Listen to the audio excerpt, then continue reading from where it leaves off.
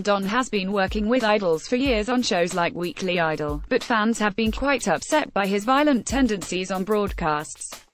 Fans were very excited to see Twice guesting on the episode but that excitement soon turned into unease.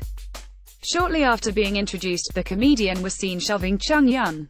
Your browser does not support video, what the comedian did so as a joke, fans were unamused. They noticed that although she was trying to laugh it off, she continued to clutch her arm subconsciously. Your browser does not support video. Fans also noticed how uncomfortable Jeongyeon, but her attempts at changing places with Dahyun failed. As soon as Dahyun moved next to him, she too was pushed.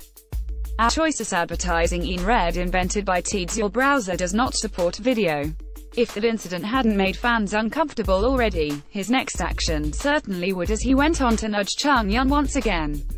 Your browser does not support video.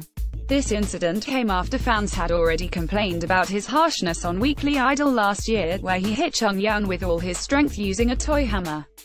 Fans immediately started voicing their outrage at the way Jeongyeon and Dahyun were treated on Twitter. Others stated that he should be apologizing to the girls. And one netizen summed up everyone's thoughts on the topic perfectly. Hopefully, everyone will learn from this incident and prevent things like this from happening again in the future.